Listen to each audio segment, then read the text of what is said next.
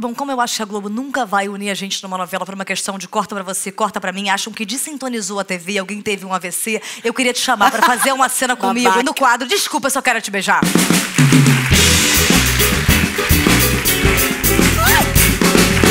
Uma cena qualquer, toca, Aham. toca uma canção, um hit, me vê hit.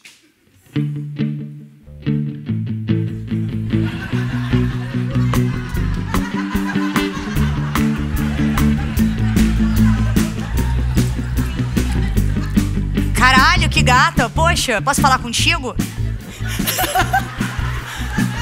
Cara, chega aí, pode falar. Tá acompanhada, gata? Não, hoje não. A minha companhia não chegou. É mesmo? É. Aí, se tu quer ficar comigo, me beija. Se tu não quer dar um duplo mortal pra trás. Sacanagem, meu irmão. Porra, posso te conhecer melhor, então posso te pagar uma bebida? Tá, tudo bem. O que, você bebe? Ahn, ah, pode ser cerveja. Duas cervejas. Caralho, tocou na minha mão gostosa, hein, gata? Obrigada. Peraí, é assim mesmo? Porra, qual o problema, irmão? Não tem ninguém aqui.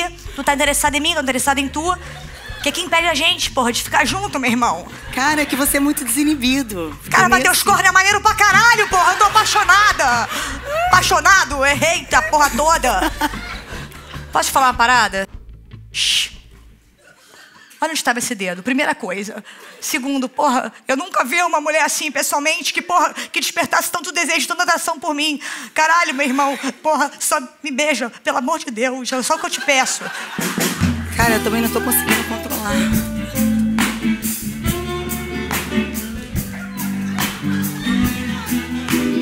Tô com aplique. Tranquilo. Eu vou respeitar seu aplique. Em jejum, foi mal. Tranquilo. Tranquilo, tranquilo. Eu gostei de você mesmo assim. Você é muito direto. Obrigada.